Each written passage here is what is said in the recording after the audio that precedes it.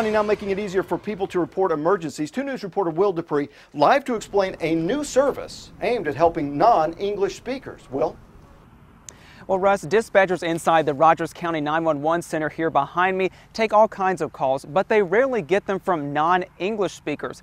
Dispatchers say those people usually avoid calling because they think there's no one here who can help or talk to them. But a new service that went online just last week should make it easier to communicate.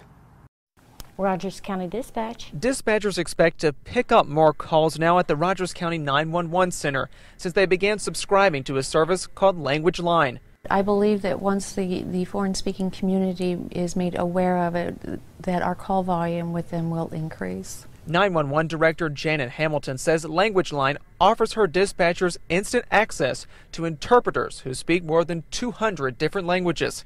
Rogers County Dispatch.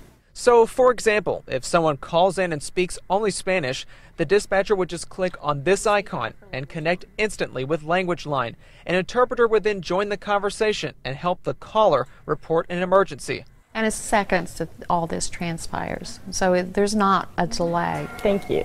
This is a great thing. This is a great thing. Norma Ochoa grew up speaking Spanish at home and is often asked to act as an interpreter at the local hospital. She says the Hispanic population here is exploding, and she expects this new 911 service to benefit them most. To know that that's available and that they're going to have someone who can actually communicate with them um, gives them a sense of, of stability and I think of security. Well, Rogers County spent no money installing Language Line. They'll only ever have to pay for it if they ever use the service, and then they'll have to pay about 69 cents per minute. Reporting live in Claremore, Will Dupree, 2 News Works for you. I will. Thanks.